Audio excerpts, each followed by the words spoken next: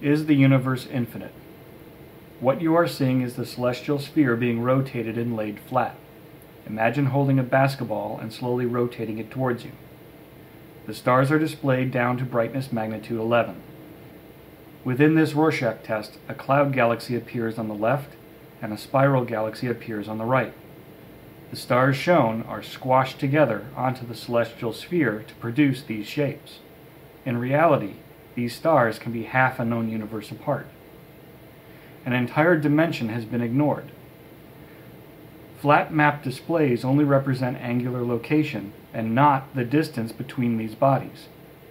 Changing the distance to magnitude 7, stars visible to the naked eye, under perfect conditions, shows the flaw of basing theories on compressed space. Artistic impression of galaxies consumed planetarium displays and became reality. We have lost a generation to this fictitious artwork, which the data does not support. Examining the stars in rotation helps identify their cloud structure.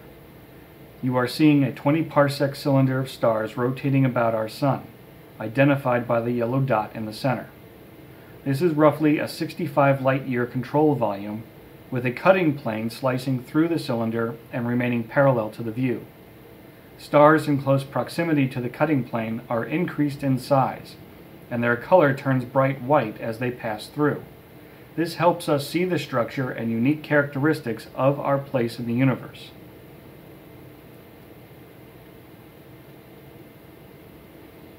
Increasing the control volume to roughly 133 light years shows the continued expansion of conical star concentrations, voids, and sparse regions all pointing to our Sun. It looks like we are centered in the eye of a star hurricane. There is a toroidal structure of stars surrounding the Sun which cannot be explained by currently accepted theories entrenched in an infinite universe model with a Big Bang. All these observed properties are predicted by a finite universe model described using fluidic circular dimensions instead of the rigid linears we learned in school. That model of higher dimensional circular space is explained graphically through more video clips located in the FCD section on ostricheyes.com. Zooming in to roughly 33 light years, we can examine more closely the void surrounding our Sun.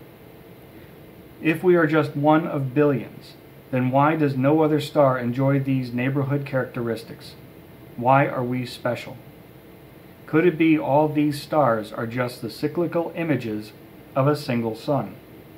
Just like Christopher Columbus sailed around the world, we can sail around the universe.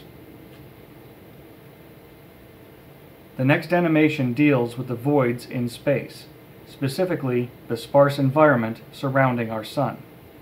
Each colored bubble surrounds a single star and represents the closest nine-star average distance. Only bubbles greater than one and a half times the average are displayed. Thus, dark areas contain higher concentrations of stars that are not shown.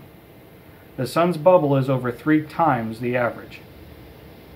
Redefining the bubbles to represent nearest neighbor distances and using a larger control volume, the absence of the denser toroidal structure can be seen as a dark region. Perpendicular to that structure, star population is increasing twice as fast as the available property defined by greater distance from the Sun. We'd expect bubble sizes to increase with the growing control volume, but these cyclical images, the stars, are increasing at a faster rate which maintains the bubble sizes. The display is changed to include the abnormally large bubbles surrounding our Sun, in comparison to star bubbles less than half the average. This illuminates the toroidal structure orbiting the Sun, a feature no other star enjoys. The data shows our Sun is unique and at the center of the known universe. It supports a closed universe theory in which light travels full circle, the consequence of which can be seen as the stars. Multiple star systems and other anomalies show the evolutionary history of our Sun and solar system. Instead of proximity, imagine the stars as temporal views of our Sun.